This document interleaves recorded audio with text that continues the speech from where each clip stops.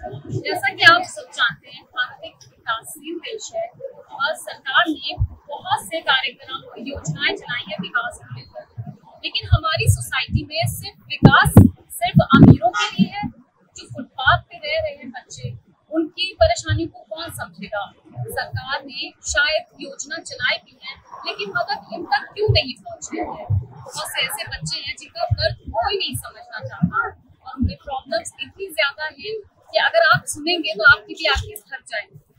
चलिए चलते हैं, हम जानते हैं बच्चों से उनकी कहानी।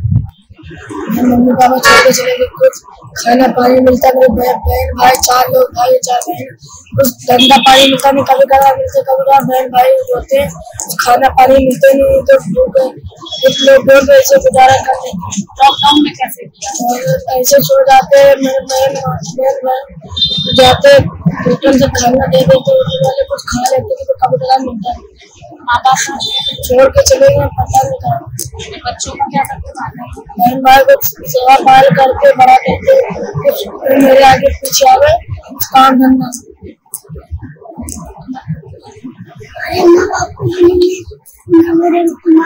मेरे खत्म हो गई थी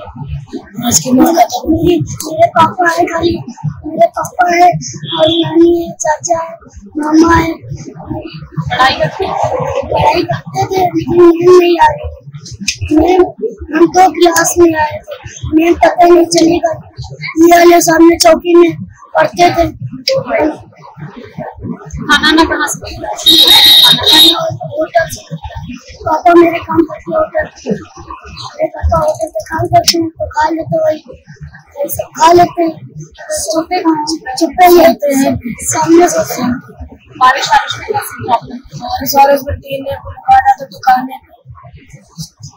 ये ये आप देख सकते हैं किस तरह से ऐसी ज़मीन पर ऐसी जगह पर ये बच्चे अपनी ज़िंदगी गुजारते हैं। एक घर देख सकते हैं। बारिश में इनको किस तरह की दिक्कतों का सामना करना पड़ सकता है और ये किस तरह की